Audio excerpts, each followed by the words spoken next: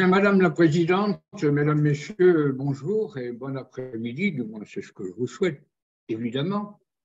Alors, on va parler d'une dame, une inconnue célèbre, Marie-Antoinette Barchalou, dit Manuel de Grandfort. Qu'était-elle?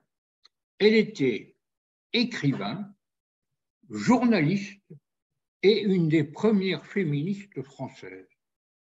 Alors, elle a vécu au XIXe siècle, née à Casteljalou en 1829. Elle fait ses études à Agen et elle est chez son oncle, M. Barchalou, bien connu à l'époque, dans son temps, habitant rue Floirac. Et dans son collège, elle a des dispositions sur la littérature tout à fait remarquables au point qu'elle obtient un premier prix de littérature que lui remet Jasmin. Voilà une jeune femme qui, euh, tout d'un coup, s'oriente vers euh, des destinées littéraires. Son père est maire de Casteljalou et s'occupe des forges de Casteljalou. Et à Casteljalou, un revers de fortune, suite aux difficultés probablement issues des forges, fait que euh, l'affaire tourne mal dans la famille et il se trouve dans des difficultés.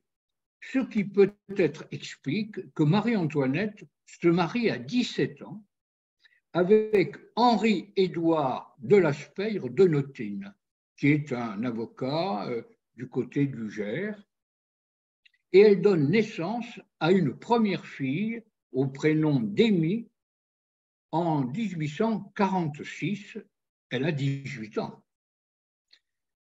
Alors, c'est sans doute à l'occasion, cette fille est née à Foursès, du côté du Gers, comme on sait, et sans doute à cette occasion qu'elle a connu un, préfet du Gers qui est euh, Prosper Barousse, qui a été nommé par la République de 1848, qui est un poète, un romantique et un républicain farouche. Peu de temps après, elle décide de continuer ses études de lettres à Toulouse, à la faculté, et elle y retrouve Barousse, qui est journaliste et avocat, un peu révolutionnaire républicain de son temps. Le temps passe et elle met au monde une deuxième fille. Alors il va falloir retenir le prénom de la fille, elle s'appelle Jeanne-Marie et elle est née sur le nom de Jeanne-Marie Barousse et ne figure pas le nom de sa mère, sauf que l'on le doit aux recherches d'Hubert Delpont, qui a su trouver que sa mère était bien Marie-Antoinette Barsalou, mariée avec M. de Laspeille, car sur le euh, l'acte de naissance de Toulouse, elle figure sous le nom de Marie Bijou. Voyez-vous, une naissance sous un nom différent, lequel Marie Bijou lui servira et lui a servi à Toulouse d'être un nom de plume, un de ses premiers noms de plume, car il écrivait des articles avec Barousse dans le journal euh, local. Eh bien, les affaires de la situation politique en France fait que les républicains ne sont pas en grâce et Barousse décide de repartir à la Nouvelle-Orléans, c'est-à-dire il s'éloigne. Et il emmène avec elle euh, Marie-Antoinette Barcelou.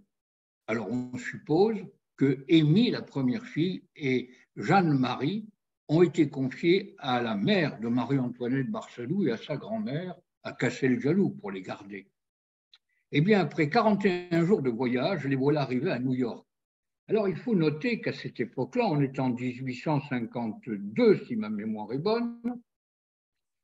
Et donc, euh, à cette époque-là, arriver à New York pour une jeune femme, bien qu'elle soit accompagnée, c'est quand même un événement considérable. De New York, ils vont à la Nouvelle-Orléans et à la Nouvelle-Orléans, elle y donne des conférences, des conférences sous le titre de responsable de la littérature française. Des conférences qui ont du succès d'ailleurs, mais peu de temps après, vient à disparaître Prosper Barousse, emporté par une épidémie de fièvre jaune qui a décimé plus de 40 000 personnes entre la Nouvelle-Orléans et la Louisiane. elle se retrouve seule à la Nouvelle-Orléans. Elle a environ à ce moment-là euh, à peine 22 ans ou 23 ans. Et la voilà, comme elle écrit, veuve, sans mari, seule à l'étranger. Mais ayant écrit des articles tout au long de ce premier voyage de New York à la Nouvelle-Orléans, à la Nouvelle-Orléans aussi, publié dans la revue L'œil, Monsieur Manuel euh, de Grandfort la prend sous son aile, il était le patron du journal et il lui propose de l'épouser, ce qui fait grand scandale évidemment à la Nouvelle-Orléans, ville très espagnole et catholique. Euh, de ce fait, ils conviennent de partir vers le Canada et ils prennent la route du Mississippi sur les steamboats et ils vont remonter du Mississippi à la rivière Ohio et euh, le chemin du Canada pour des Français de Louisiane ou des Canadiens qui viennent en Louisiane. Euh, c'est la grande route des voyages des Français. Dans, à Cincinnati, elle assiste à une conférence tout à fait particulière d'une dame qui s'appelle Rebecca Smith, qui tient une conférence sur les bloomeristes. Alors, qui sont les bloomeristes Les bloomeristes sont le premier mouvement féministe américain lancé par euh, la femme d'un avocat à Boston, Madame Emilia. Alors, les bloomeristes, elles portent des pantalons bouffants, d'où le nom bloomer, qui sont des pantalons bouffants en anglais, liés sur les bottines avec un, petit euh, ruban. Elle porte une casaque, une blouse, une chemise avec une cravate et des chapeaux. Donc c'est un habit de revendication mi-homme, mi-femme, comme on voit sur la gravure de l'époque. Mais en fait, c'est simplement un signe de se faire remarquer et de vouloir avoir l'égalité entre les hommes et les femmes.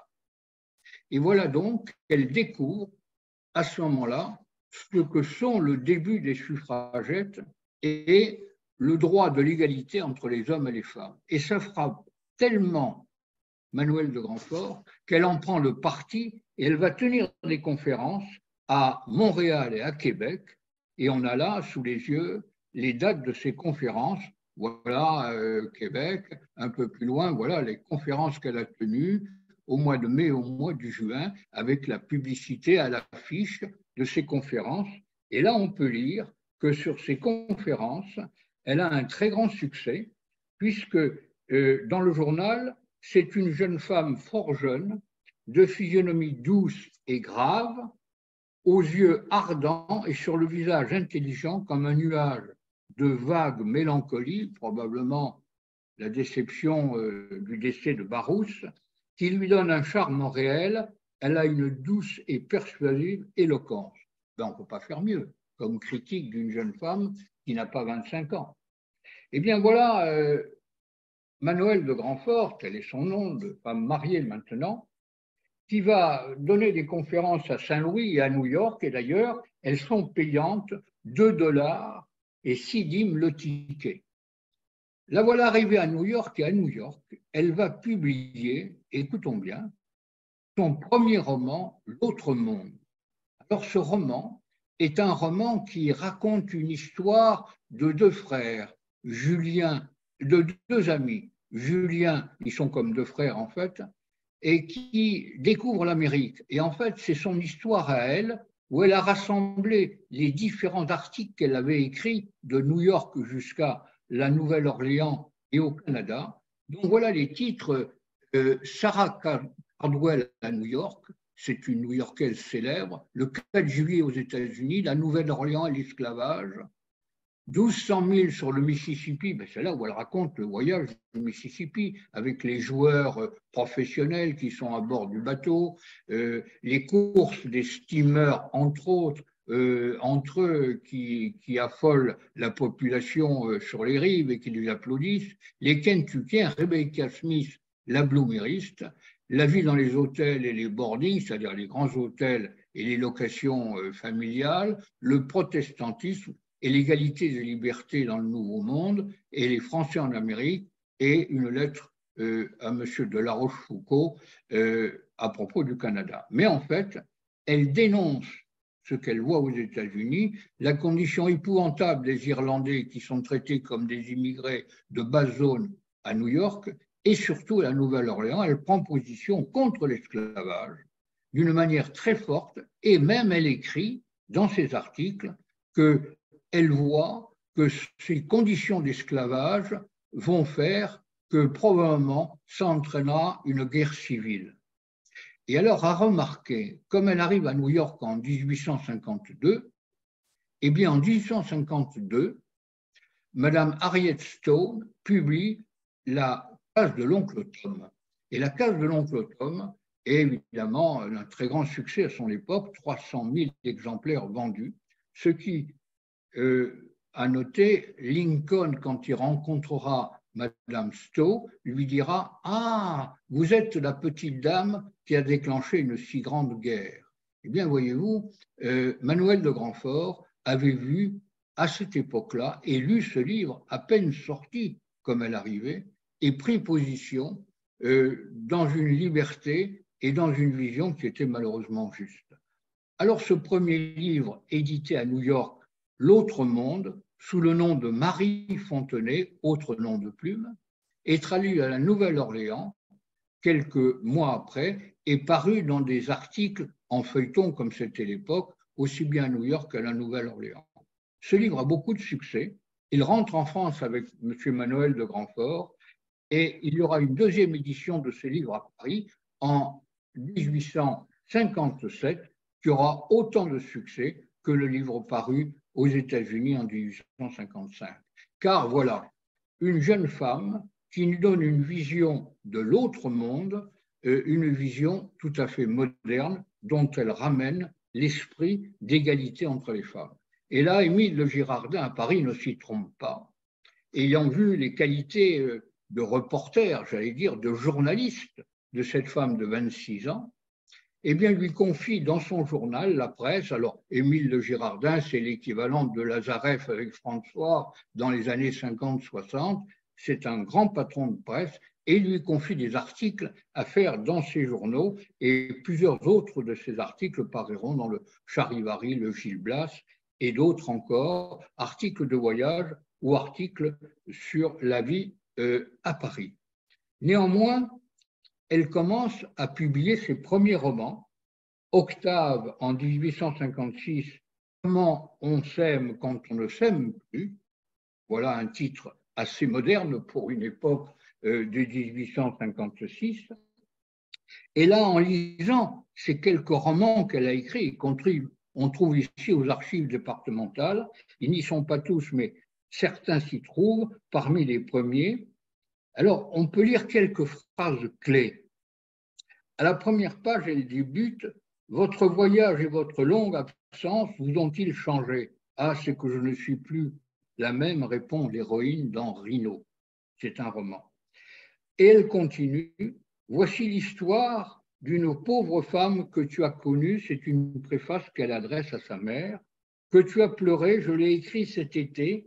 Sous tes yeux, les enfants jouaient dans la prairie sans doute les deux filles, Amy et Jeanne-Marie, grand-mère assise près de toi tricotée, c'était pour moi un tel sentiment de joie, après avoir couru de tels dangers, y avoir miraculeusement échappé.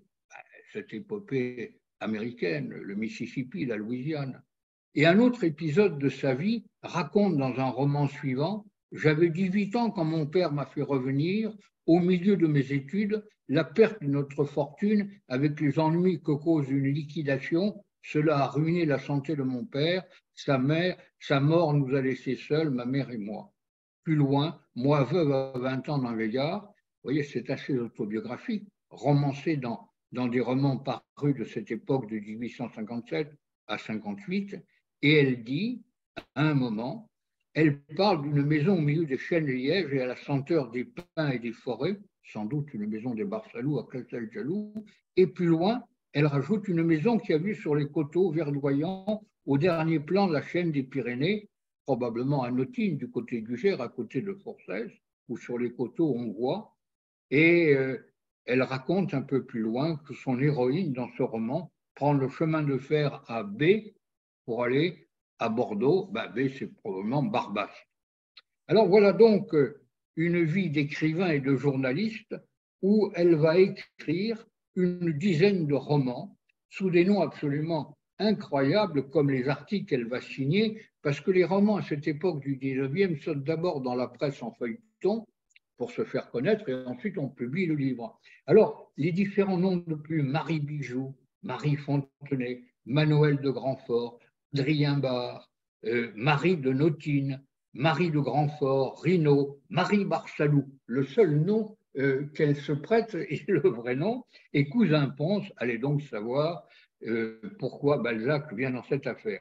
Néanmoins, elle va écrire plus de 15 romans à succès, romans célèbres, bien vendus, et d'ailleurs l'archiviste Bonnat, qui fait un article sur les femmes écrivains du Lot-et-Garonne, dit qu'elle a su, parmi les femmes du Lot-et-Garonne écrivains, vivre de sa plume entre le journalisme et les romans. Ce qui n'est pas évident en 1870 arrive, malheureusement, euh, voilà la mode de cette époque c'est pour montrer la mode des dames et la modernité euh, de ce qu'elle écrit. Voilà donc la commune à Paris, voilà euh, la fin de la commune avec les incendies terribles. Et à ce moment-là, Manuel de Grandfort va quitter Paris, comme beaucoup euh, d'écrivains, comme beaucoup d'artistes qui sont plutôt du côté de la commune. Euh, ils sont plutôt euh, d'un sentiment progressiste de justice sociale. La preuve, son engagement pour défendre l'égalité des femmes et des hommes est très en avance sur son époque.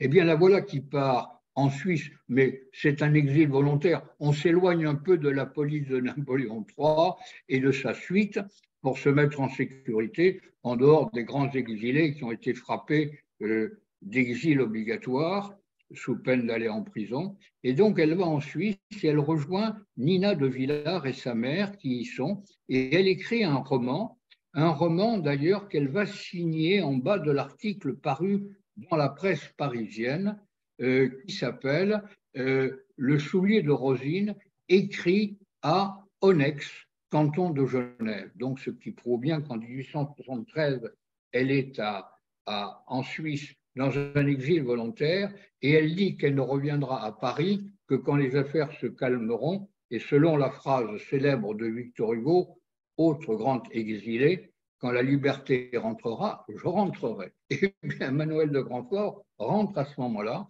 et à 45 ans, écoutons ça, elle est nommée rédactrice en chef de la vie parisienne, qui est le journal à succès, une sorte de magazine hebdomadaire, dont on traite euh, dans ce journal à la fois la politique, la littérature, la scène, les arts euh, et toutes sortes de, de vie parisienne eh bien, elle est nommée rédactrice en chef.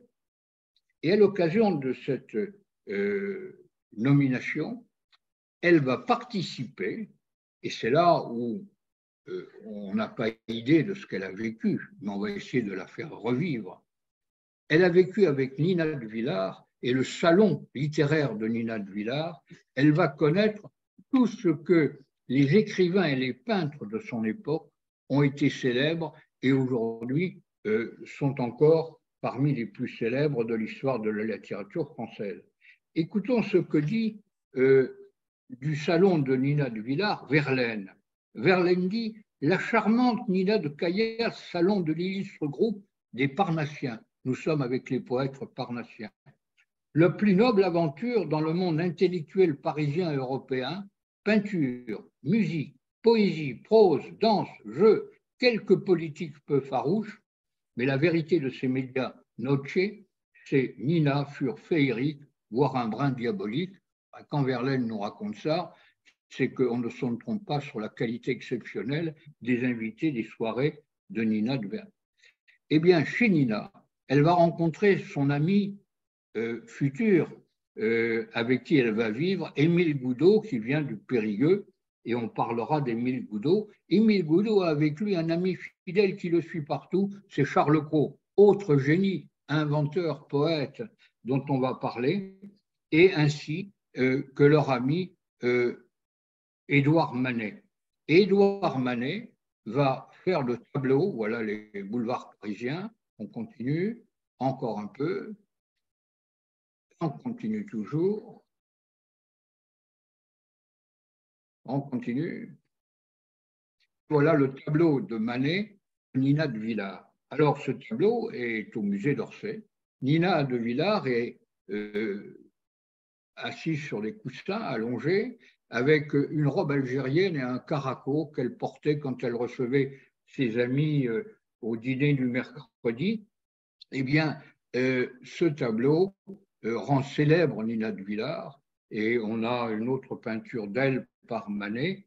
Eh bien, écoutons voir ce qui se passe le mercredi soir. Alors, essayons de revivre un peu comment ça se passe dans l'hôtel particulier du 82 rue des Moines au Batignolles, où Madame Villard, mère, et Nina de Villard, qui avaient quelques rentes et leur donnaient euh, une certaine aisance pour tenir ce salon littéraire, comment elle reçoit le mercredi soir des invités qui tous les mercredis viennent dîner, et bien tous ces mercredis, Manuel de Grandfort y est à table. Eh bien, Émile Boudot arrive en retard, tout le monde se pousse pour lui faire une place. Euh, Madame de Villard, très noble, toujours assise en face de sa fille, Nina, qui est à sa gauche, côté cœur, bien évidemment, Charles Cros, son amant. La compagnie est joyeuse et la conversation brillante. Écoutons.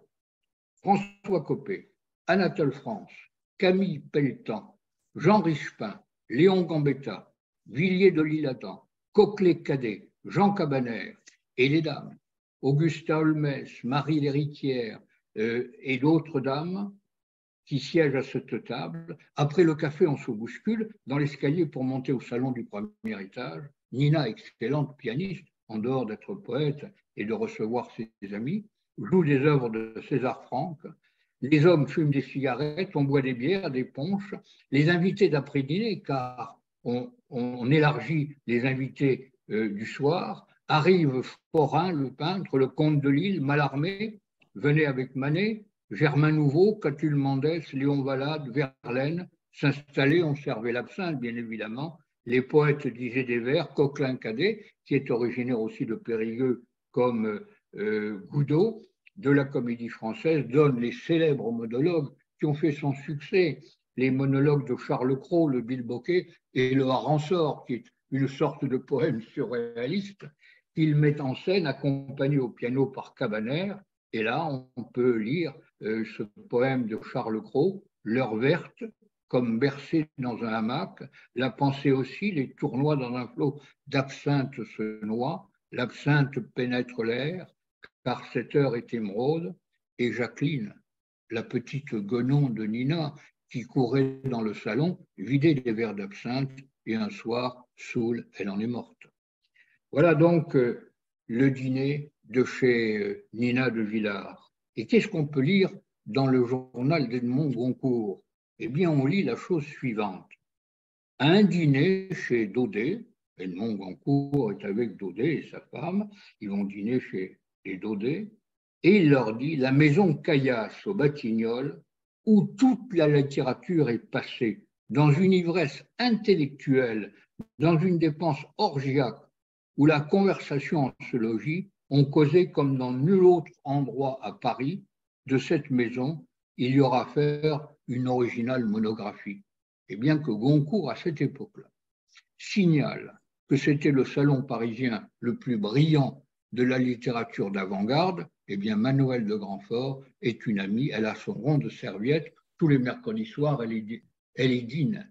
Eh bien, pour elle, rédactrice en chef de la vie parisienne, c'est l'occasion d'avoir tous les échos, toutes les informations de la vie littéraire. Là, c'est le, portrait précédemment de Manet, de Manuel de Grandfort, et là, non, on revient, s'il vous plaît, excusez-moi, pardon, voilà. Eh bien là, c'est une photo en couleur, en couleur de Charles Cros. Et on sait que Charles Cros et Ducos du Haut a envoyé en mai 1769 à la Société française de géographie le mémoire sur la photo en couleur. Hein, photographie en couleur. Et là, Charles Cros a demandé à Manet de lui prêter un tableau, un printemps, un tableau pour faire cette photographie en couleur. Et donc, c'est cette époque-là. Eh bien, euh, voilà donc l'histoire euh, du salon de Nina, eh bien, Émile Goudot, qui bien entendu fait partie avec euh, Manuel de Grandfort et Charles Cros et ses amis, euh, lui, de son côté, venant de Périgueux, il s'ennuie au ministère euh, des Finances, où il est dans un bureau. Il invente une formule du café rive gauche. Il va faire des soirées littéraires, des soirées littéraires où il va inviter toutes sortes de poèmes, de poètes de son époque, Copé, Paul Bourget, Barbé d'Aurevilly, Paul Arène, Coquelet-Cadet, Sarah Bernard aussi, Alphonse Allais, et il va créer ce club qui s'appelle les hydropathes. Alors, on ne sait pas trop ce que veut dire les hydropathes, mais a priori, c'est ceux qui n'aiment pas trop l'eau. Voilà, euh, euh, Émile Boudot et Manuel de Grandfort. Eh bien là, ils vont inventer euh, dans une formule le spectacle littéraire. Voilà les hydropathes, ça c'est la, la, la, caricature de Charles Cros. Eh bien, ce spectacle littéraire d'un nouveau genre, le poète sur scène n'est pas un lecteur, il devient un acteur. Il dit son et il vit son poème. Il crée en quelque sorte un spectacle plutôt que d'avoir un monologue récité d'une manière monotone. Eh bien, un autre homme ne s'y trompe pas, c'est Rodolphe Salis, qui, avec Manet, euh, rencontre euh, Émile Boudot et lui dit J'ai apprécié vos nouveaux spectacles littéraires, rejoignez-moi, je suis en train de monter un cabaret à Paris, qui va s'appeler le, Chat Noir, et je vous propose de me rejoindre pour qu'on puisse, avec vos poètes, lancer euh, une nouvelle affaire. Eh bien voilà, donc, Émile Boudot, évidemment Manuel de Grandfort, arrivent aux soirées du Chat Noir qu'ils vont créer de toute pièce avec leurs amis et Théodore de Banville, Aristide Briand, euh, Montréal, Richepin, Verlaine, Barbé d'Aurevilly, Alphonse Allais, Émile Boulot et tous les autres qu'on imagine, et les peintres qui viennent faire des caricatures, Basile, Steinlein, Lorrain, Carandache et j'en passe. Et eh bien là, Manuel de Grandfort va élargir les informations, la modernité de ce cabaret où on apostrophe le bourgeois, on joue les anarchistes, rien n'est interdit, tout est permis, on chante en chœur et on vit d'une littérature et on écrit, euh, je vais dire, toutes sortes d'histoires rocambolesques telles que euh, le fait Alphonse Allais. Donc voilà la revue du Chat Noir dont Émile Boudot sera un des rédacteurs en chef. Et euh, c'est le succès, évidemment, euh, du chat noir, où tout Paris défile, ça devient à la mode. Et Manuel de Grandfort et Émile Boudot, évidemment, comme chez Nina de Villas, ont suivi tous ces événements, événements considérables. C'est ce qui a fait la réputation de Paris au XIXe siècle, ce foisonnement littéraire, cette invention euh, des poètes parnassiens presque au début de la littérature moderne. Eh bien, on apprend que Nina de Villa, ayant beaucoup bu d'absinthe, est en train de perdre la raison. Elle est dans une maison de santé à vendre. Bien, Manuel de Grandfort, il va tous les jours la voir. Il va toujours la voir euh, et elle s'affaiblit de plus en plus. De temps à autre, elle a la conscience, c'est le problème du délirium très mince. Elle n'a pas 40 ans. Eh bien, Émile Goudot va la voir aussi, lui réciter du poème, et quand elle est un peu lucide et qu'elle la voit arriver, elle dit Ah, voilà Émilios Ce qui montre un certain attachement les uns pour les autres. Eh bien, Villet de Lilalan vient aussi de lire quelques contes qu'il a écrits pour la distraire. Et elle s'affaiblit et elle disparaît. Et là, Manuel de Grandfort écrit euh, quelque chose qui nous touche beaucoup et qui est le centre de notre histoire c'est les hommes ne sont pas doux pour les femmes, ni indulgents, ni reconnaissance.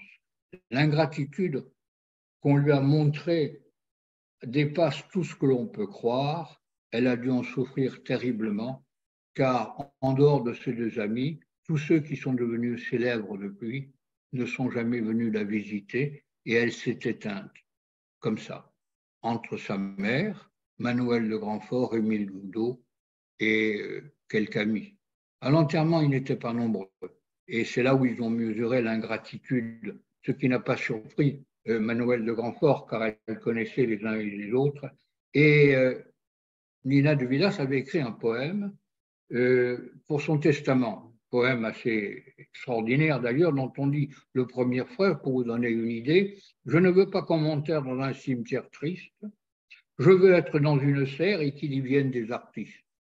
Alors, la mère de Nina Le Villard, reconnaissant, verse une petite rente à Manuel de Grandfort et euh, les choses ainsi s'en vont. Eh bien, Manuel de Grandfort, à cette époque-là, sort deux romans en même temps dans l'année. Et on lit dans les journaux deux romans à la fois dans la même semaine. Il n'y a que les femmes pour avoir une audace heureuse. Jacques Sorel, le titre du roman, Pour être riche, autre titre du roman, deux écrits d'une plume railleuse et légère, une pointe d'émotion et toujours un style élégant. Et elle va publier plus tard Confession de femme, Cousine André, Famille frileuse, fin de siècle. Emilio, Émile Goudot va écrire euh, ses mémoires, d'autres poèmes, une dizaine de livres, et dans une préface de ses mémoires, euh, il a mis une dédicace, et on la voit écrit à la main, à ma belle Marion, ma chère princesse Marie de Grandfort, son Émile Goudot. on se doute bien que Charles Cros, amoureux de Madame de Villard, qui est décédée, euh, se noie aussi dans l'absinthe et va mourir jeune, euh, abandonné. Et comme il dit, euh, c'est dur de ne pas avoir d'argent, d'être seul et de vivre comme on a vécu. Eh bien, les choses avancent, mais Manuel de Grandfort, qui vit maintenant avec euh, Émile Goudot, reçoit la visite de Marguerite Durand. Marguerite Durand, actrice, vous voyez comme elle est très belle femme, est une actrice pensionnaire de la comédie française. Elle est journaliste, divorcée du directeur du Figaro. Elle a de solides soutiens avec Viviani et quelques éléments de la famille des Rothschild. C'est une femme indépendante, fort belle comme on le voit, intelligente et militante pour la cause des femmes. Elle lance un journal féministe, La Fronde, de 1897 à 1930. Marguerite Durand, euh, en rendant visite à Manuel Le Grandfort, savait à qui elle s'adressait, car elle reconnaissait en elle une des premières féministes. Et donc elle lui propose de venir rejoindre l'équipe de la fronde qu'elle est en train de constituer, se souvenant bien entendu de ce qu'elle avait lu à propos de Remika Smith, la féministe américaine des bloomeristes. Eh bien voilà, euh, Manuel de Grandfort fera partie euh, avec une vingtaine de journalistes de la rédaction et elle y tiendra la critique littéraire jusqu'à la fin de ses jours. Sur la une de la fronde, dans un cartouche en haut, on peut lire à gauche les phrases suivantes. Journal quotidien, politique, littéraire et dirigé, administré, rédigé, composé par des femmes. Et effectivement, ce journal est uniquement écrit par des femmes.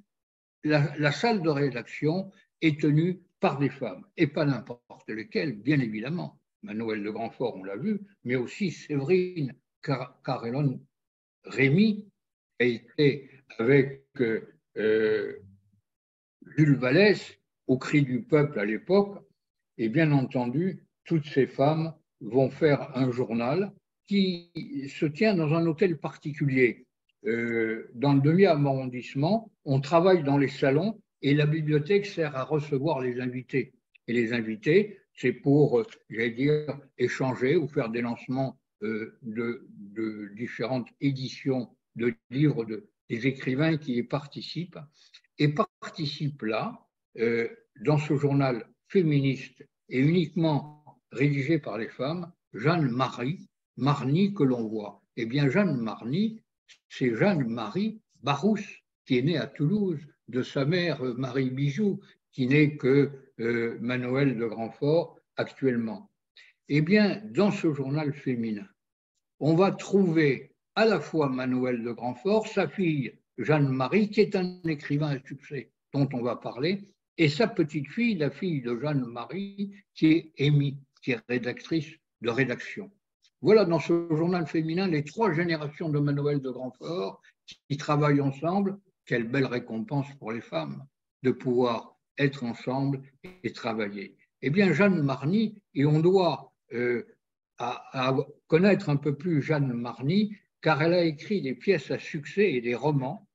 Euh, voilà euh, la villa Marny, et on doit ça à Madame Eliane Gregg, qui, m'avait contacté lorsque je travaillais sur Manuel de Grandfort et qui euh, voulait avoir des renseignements sur le Lot-et-Garonne et la mer de Marny. Elle m'en a donné en échange et c'est ce que nous livrons. Eh bien, elle a travaillé avec Maurice Donnet. Maurice Donnet, qui était chansonnier au Chat Noir, était un des hommes les plus drôles et les plus brillants, écrivains de vaudeville et de romans. Elle a travaillé avec elle. Ils ont eu un succès ensemble.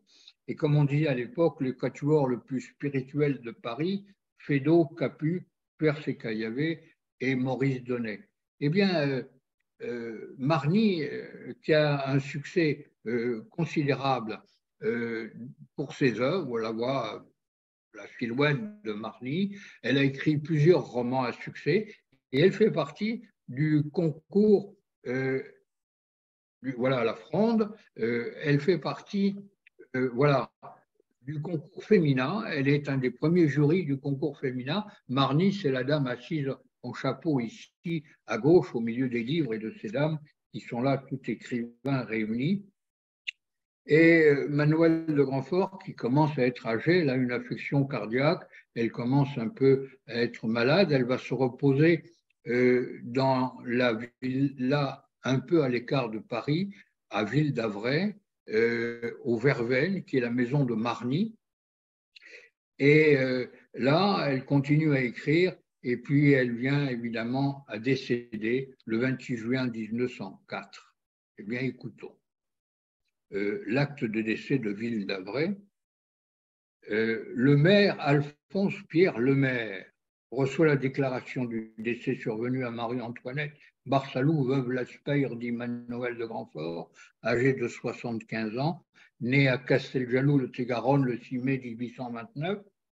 Déclaration faite par Émile Goudot, 54 ans, homme de lettres, et de Joseph Boisvieux, 29 ans, docteur en médecine, probablement qu'il avait soigné dans ses derniers jours, tous deux amis de la décédée. On peut imaginer le discours du maire de Ville d'Avray aux obsèques de Manuel de Grandfort. Il n'est autre que le fondateur et le patron de la maison Le Maire qui a édité tous les poètes parnassiens de l'époque, petits volumes édités qu'on a dans nos bibliothèques et qui ont édité tous les auteurs du XIXe siècle, imaginons le discours qu'il a pu faire sur la tombe euh, de Manuel de Grandfort devant Marny et tous ses amis. Le journal La Fronde du 1er juillet, et on arrive à la fin de sa vie, euh, titre La mort de Manuel de Grandfort sur un bandeau noir, c'est tout ce qu'il y a en titre à la une. Vendredi, nous l'avons accompagnée dans les fleurs au soleil le long des routes blanches de Ville d'Avray. L'enclos où elle dort maintenant était une pente fleurie de grosiers grimpants. Manuel fut belle d'une beauté impeccable et charmante, avec ses yeux merveilleusement clairs. D'autres se seraient contentés d'être belles, mais elle a su savoir du talent, avec le succès de ses romans et la finesse de ses critiques littéraires, Dès la première heure, elle appartenait à la fronde qu'elle aimait, elle y resta attachée jusqu'au bout. Peu de temps après, Émile Goudot va s'éteindre deux ans après elle, et il est enterré en 1906 à côté de Manuel de Grandfort dans le vallon de Ville d'Avray, et plus tard, sa fille Marnie y repose également à leur côté. Alors, pour terminer, ça c'est Séverine, Là, c'est euh, Marny. C'est la fille de Marny, Amy. C'est la ville d'Avray. Et bien, pour terminer, aujourd'hui, il y a deux places, Émile Goudot. L'une à Paris, à Montmartre, aux côtés des Abeilles, du côté du Chat. L'autre dans sa ville natale, à Périgueux, ici, en Lot-et-Garonne. Il n'y a pas de place pour Manuel de Grandfort né Marie Barsalou à Casteljaloux, ni de jardin à son nom à Agen. L'injustice faite aux femmes va même jusqu'à ne pas se souvenir de leur mémoire. Je vous remercie et souvenons-nous de Manuel de Grandfort.